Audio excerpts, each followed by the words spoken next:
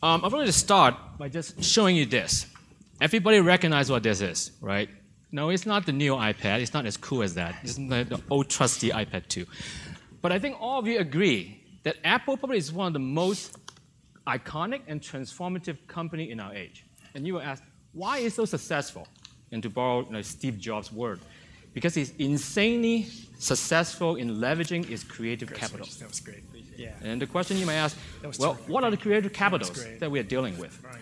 Well, I think for today's talk, you have heard a lot about the artistic side of the creative capital. And from the last talk from Melanie, you also learned that there are other people who are also can be creative. And I, what I want to do is actually broaden that, that group in. Oop, where's the clicker? Sorry.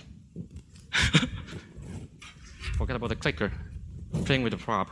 So, so those are artists, and I want to broaden that definition to include scientists, mathematicians, engineers, entrepreneurs, as well as teachers, anybody who basically develop, transform, and exchange great ideas.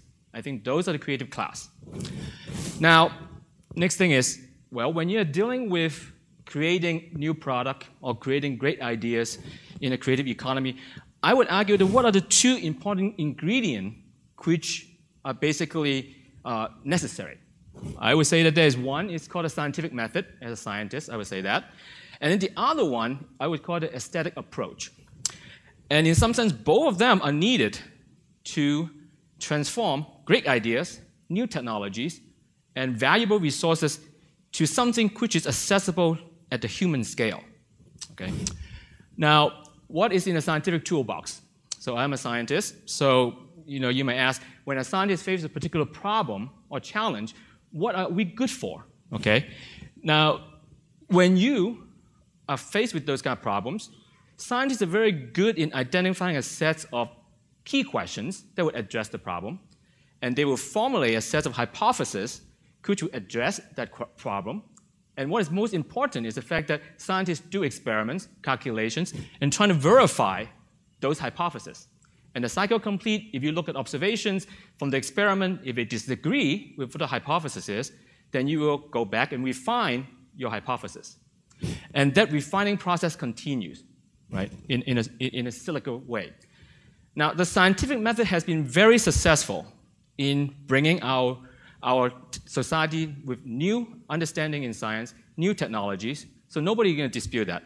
But what I'm trying to argue at this point is, is the fact that those kind of problem-solving skills can be extended into other realm outside of science. Now, what is in the other toolbox?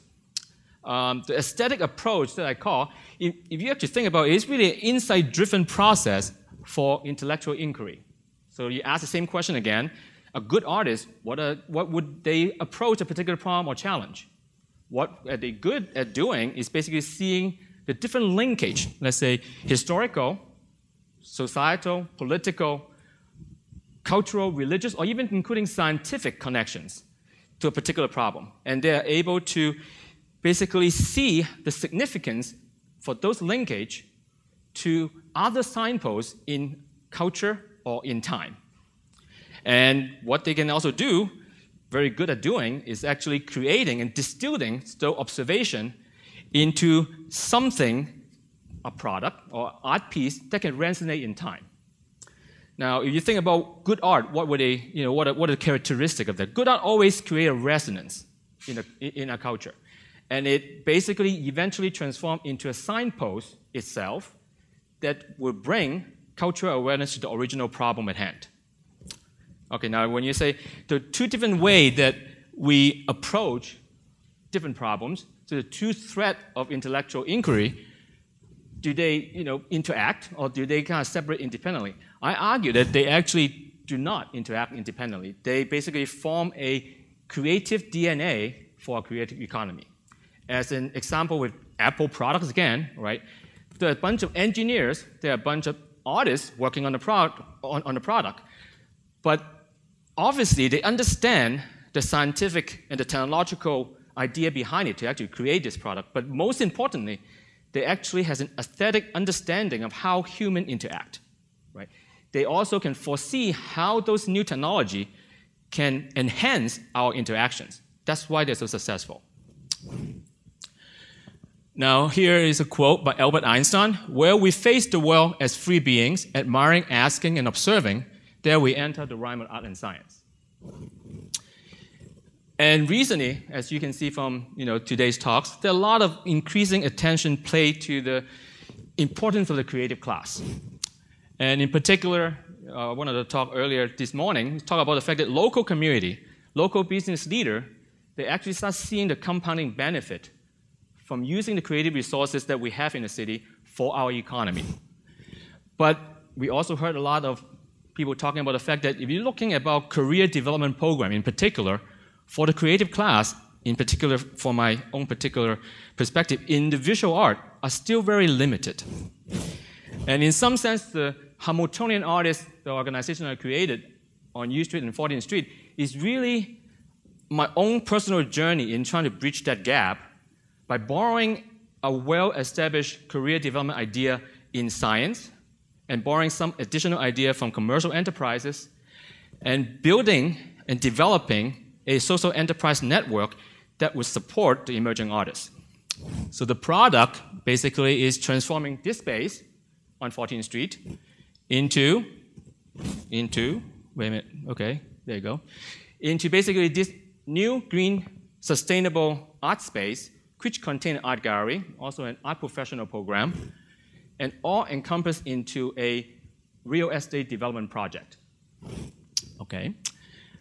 Now, throughout this journey, one thing that I gained the most insight from is really uh, in order for you to make your project to have the greatest impact, you have to take a personal stake in it.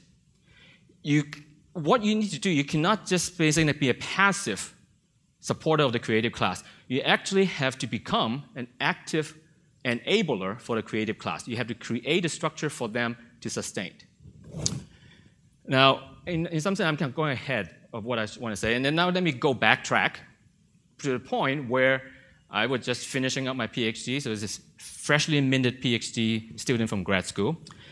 And there is a well-established um, professional development structure that's set up for scientists. It's called postdoctoral training program. If you think about as a scientist in science, you don't just go out to a university and say, I want a job as a professor after you finish your PhD. Well, probably, likely, probably you wouldn't get it. So typically what happens is, you know, you will work with a professor or a scientist, more established scientist, in a university or a research group, like a national lab, that would help you, mentor you through the process. And then you will learn to be a professor, you, as well as you will learn to kind of fine-tune your scientific training. For me, I thought that was a very productive and very uh, uh, educational process in my own scientific career. And when I uh, go back, looking at it as, a, as an artist myself, um, after some years of teaching, I want to actually go back into the art community. And I was saying, well, what can I do with my own experience in trying to benefit the art community? I was saying that maybe I want to replicate the same postdoctoral training program for art, I would call it postdoc in art, for the art community, for emerging artists in particular. As in one of the uh, speakers earlier speak today, really what the support should be should be an importing side of the equation, should be setting up structure to support artists instead of bringing artists into the city. Okay, now when you look at uh, the program that I set up, uh, in the postdoctoral research side as a scientist, what are the main ingredients? It's the mentorship program, right? It's the, it's the fact that you're actually working with a more established artist that can help you to hone your scientific skills as well as you learn to be a professor. That's, a, that's an important part. And the other one is the fact that you're actually still working with a group of postdocs, scientists in the same stage, going through the same process. It gives you critical feedback in how that process should go and how you actually can gain entrance into a very competitive community. Now, the other one is the fact that as a professional scientist or professional artist, you need to get your work out there. I mean, you need to talk about your scientific finding. You need to talk about you know, what you have discovered. You need to show your art pieces. You need to talk about your artistic concept to other people. You, as a professional artist or scientist, you need to have the ability to go out and do that. When I think back, you know, as a scientist, the postdoctoral research probably is one of the best time in some sense in my life. So you finish your school so that you're no longer, uh, you know, under academic stress. You're free to do your own research, right? And um, but at the same time, you get a support from your mentor in providing financial support as well as, as, as, well as uh, uh, scientific pointers in sending you out to other conferences and meetings to talk about your art. So, which is very similar to what we have set up for our program. We provide a world-class exhibition space on 14 in U Street and give our fellows the opportunity to show their work. Let other community, other art, artists to see their work. And public exposure is one of the key points that I think the fact that we have chosen the space where we are on 14 and U. Oops, sorry. Oh, sorry. Uh, now, the other part that I think that is very different between a postdoc and a student, if you think about a PhD student, is the fact that when you're a student, you learn about the science. Just like when you talk about artists, when they're in, M- in, a, in a MFA program, they learn about artistic concepts and art theories. But after they finish the school, one thing that's important to move into the second stage is really learning to be a professional artist or become a professor. So in the postdoctoral research period, you learn from your mentor to be a professor. You, you learn how to write a grant. You learn how to present your work in a public setting. You, know, you learn how to deal with university administrators.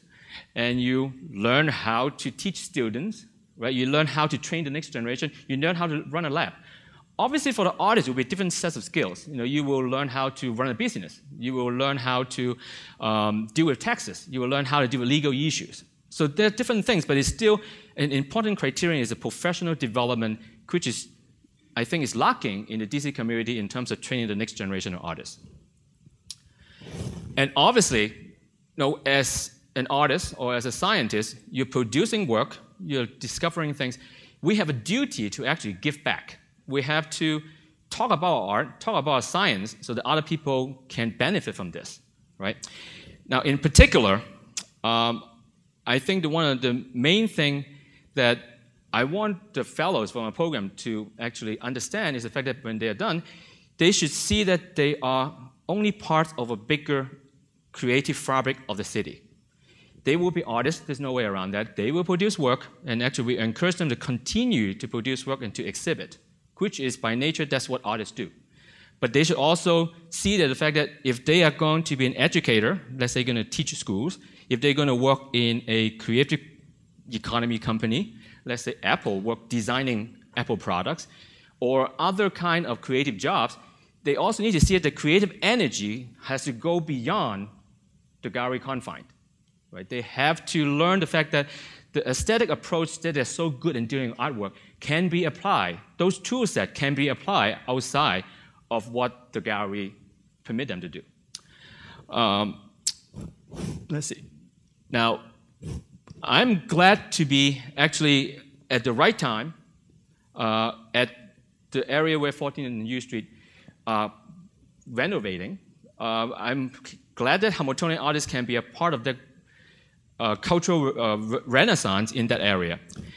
And what I want you to come, oops, not quite showing so well. What I want you to come out with this talk with a quote is the following. So, every single human being is creative. The biggest challenge of the creative age is to lift the bottom up and encourage a prosperous, vibrant, and sustainable community for all. And I hope that as a creative entrepreneur, you and I will feel the, the need to say that we have a duty and we do have a task to become a enabler for the creative class. We need to be an active participant of building structure to support them. So those are the, the fellows from the program so far. And um, I'm hoping that they will also, through this process, see the fact that they will be part of the creative economy and their role in this creative economy is is broader than what they have trained as, a, as an artist in, the, in, school. So, thank you very much.